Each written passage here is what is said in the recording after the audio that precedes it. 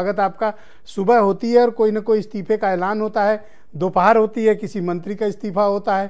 फिर अपराह्न होता है, फिर विधायकों का इस्तीफा। ये तो प्रतिदिन की प्रक्रिया हो गई है तो। यूपी का राजनीतिक घटनाक्रम जो है, वो तेज़ी से बदल रहा है। लेकिन जो दल बदल करके आ रहे हैं, जिनको लोग कह रहे हैं बगावती हैं, जिनको लोग कह रहे हैं आप पाँच साल बोले नहीं।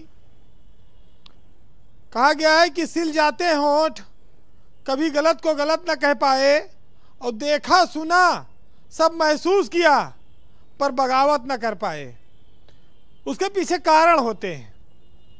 सरकारें और सत्ता का जो चरित्र और स्वरूप सामने आ रहा है, उसमें जब तक चुनाव की आचार संहिता नहीं लगती, कोई बगावत करने की हिम्मत नहीं कर पाता, क्योंकि तमाम उसके ऊपर जाँच शुरू हो जाएगी, सिकंजा कस जाएगा। ये बात आपने महसूस किया होगा कि ये मंत्री जो आज इस्तीफा दे रहे हैं ये रात रात भर छुप छुप कर घूम रहे हैं। इनके लिए जहाज़ आकर खड़ा हो रहा है और ये ठेला पर बैठ के भाग रहे हैं। ये ढाबा में खाना खा रहे हैं सो रहे हैं खटिया पे। और ये रजाई गद्दा तक का इनको परवाह नहीं जाड़े माँ। ये इतना भागे हैं। कैसे कैसे, कहाँ कहाँ रह रहे हैं लोग कि किसी तरह जान बची रहा है, पहुँच जाओ सपा दफ्तर। ये वो लोग हैं। परिवर्तन लाने के लिए ये कह रहे हैं कि आज हम साथ आए हैं। परिवर्तन आए ना आए, लेकिन अभी तुरंत उत्तर प्रदेश में एक मैसेज ये गया है कि ओबीसी समाज, वो उसके नेता बहुत बड़ी संख्या में समाजवादी पार्टी की ओर जा रहे हैं। बीजेपी इस नुकसान में है, वो बोले ना, लेकिन महसूस कर रही है। बीजेपी इसकी भरपाई करने की कोशिश भी करेगी। लेकिन कैसे होगी? क्या चमत्कार होगा? आज उनतीस सीटों का ऐलान हो गया। अखिलेश के और जयंत चौधरी के गठबंधन का। उन्नीस सीटों पर जयंत चौधरी के प्रत्याशी घोषित हो गए और दस पर अखिलेश यादव के। तो अब चुनाव में कल से नामांकन शुरू हो जाएगा। दल बदल की आंधी तेज है। 126 विधायकों की बात कही जा रही, टूटेंगे। ये कहा जा रहा है कि रोज एक मंत्री इस्तीफा देगा। कब तक देगा कौन देगा? बहरहाल ये देखना होगा रोज। लेकिन धर्म सिंह सैनी अभी बैठे थे। धर्म सिंह सैनी की बातें बहुत सारी आपने सुनी लेकिन एक बात सही, है कि वो मायावती की सरकार में कैबिनेट मंत्री थे और बीजेपी में उनका डिमोशन हुआ। वो यहाँ पर राज्य मंत्री स्वतंत्र प्रभार बनने को मजबूर रहे। और जब उनकी शपथ हुई थी आपको याद होगा आसियाना में जो ग्राउंड है भाजपा की सरकार बनी थी उन्नीस मार्च दो हज़ार सत्रह को। जी। तो वहाँ पर भी वो बहुत दुखी थे। और उस दुख को पाँच साल तक नहीं मिटा पाई भाजपा। तो स्वाभाविक है कि धर्म सिंह सैनी का हक बनता है अपनी बात कहने का। और आप नेताओं में अगर देखेंगे तो जो राजनीति में पैसा कमाने नहीं आए हैं साफ़ सुथरी राजनीति करते हैं उसमें धर्म सिंह सैनी जैसे नेताओं का नाम है। तो वो कई बार मंत्री रहे, चाहते तो सरकार उनको फंसा सकती थी, लेकिन अपने बेदाग शैली से ही लोग बचते हैं। मैं ये नहीं कहता हूँ कि आज जो लोग छोड़कर चले गए वो सब ठीक हैं। तमाम सारी समस्याएँ आती हैं। देखिए, इज़्ज़त, शोहरत, मान, प्रतिष्ठा, ये सब कभी एक जैसे नहीं रहती हैं। ये सब आनी जाने वाली चीज़ें हैं। कभी भी दाग लग सकता है, कभी भी आप उस शिखर पर पहुँच सकते हैं। ये जहाँ आज हम आप हैं, वहाँ कल कोई दूसरा था, कल कोई और होगा तो परिवर्तन संसार का नियम है। जोड़ तोड़ से चिल्लाकर परिवर्तन किए जाते रहे हैं।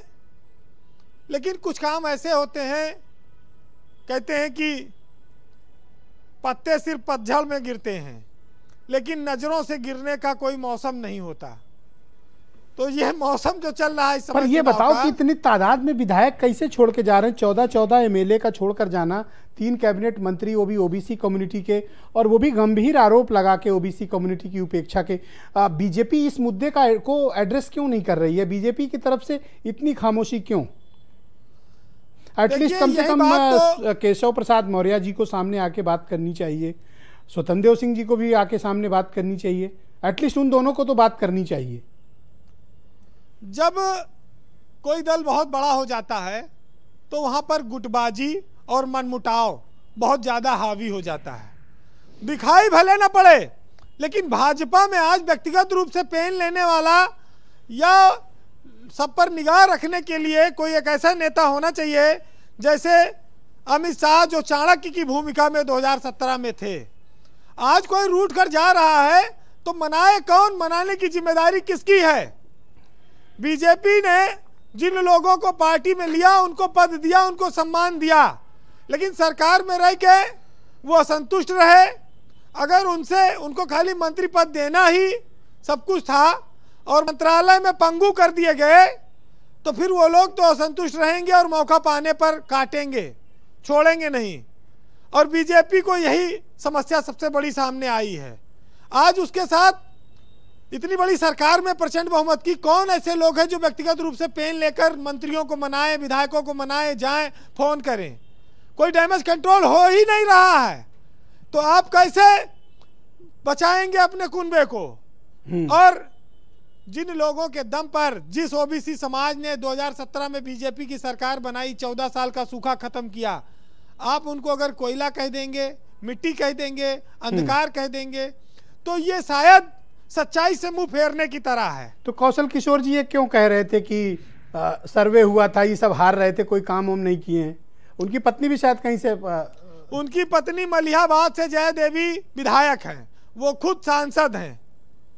देखिए एक आदमी ने कहा है कि हुनर होगा तो दुनिया कदर करेगी एड़िया उठाने से किरदार ऊँचा नहीं हो जाता। बातें बड़ी बड़ी करने से कुछ नहीं होता है। काम बोलता है, व्यवहार बोलता है। लोगों को आपने सम्मान दिया होता तो वो कुछ कम खाकर भी संतोष कर लेते।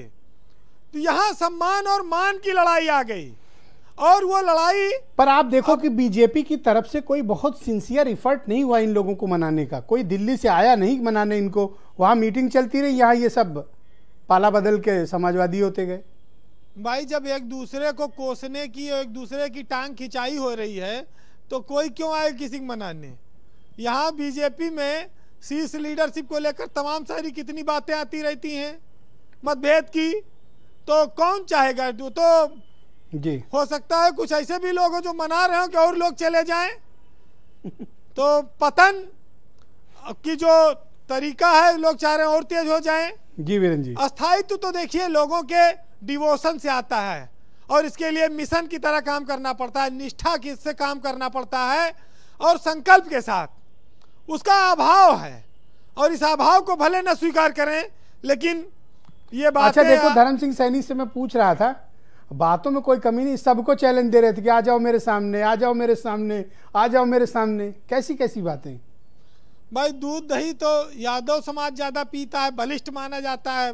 अब अगर सैनी साहब भी हिम्मत बाँध लिए उनके साथ आके तो कुछ ना कुछ हाँ तो मतलब आज तो उनकी टोन भाषा मतलब मैं मेरे से कई बार पहले भी बातचीत टीवी पे इंटरव्यू पे आए थे पर ऐसे मतलब नहीं बोलते थे। आज फुल रंगबाजी में बोल रहे थे। भाई आज सैनी साहब ने पाँच साल की अपनी भड़ास निकाली। हाँ मुझे भी यही ये कह सकते हैं आप। हाँ। क्योंकि वो चाहते भरे हुए थे अंदर से।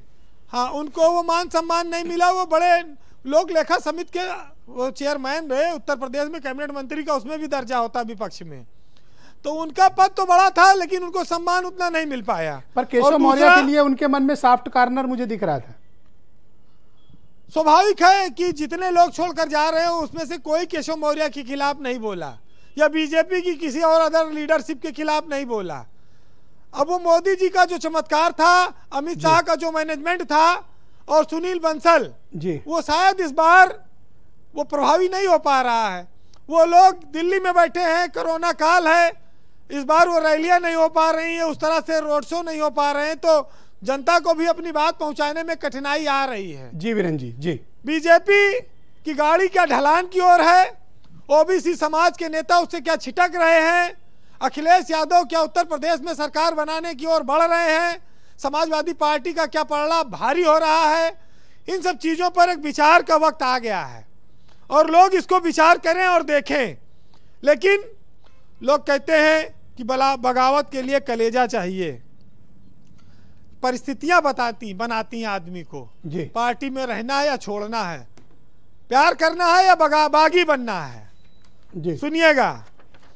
कि जन्मोजात से कोई त्यागी नहीं होता और खुद गर्जों का कोई अनुरागी नहीं होता। और जुल्म की हद ही बगावत है सिखाती, पैदाइश से कोई बागी नहीं होता। बहुत बहुत शुक्रिया आपका वीरन जी। बहुत बहुत धन्यवाद। ग्राउंड ज़ीरो से बेहतरीन इनपुट उपलब्ध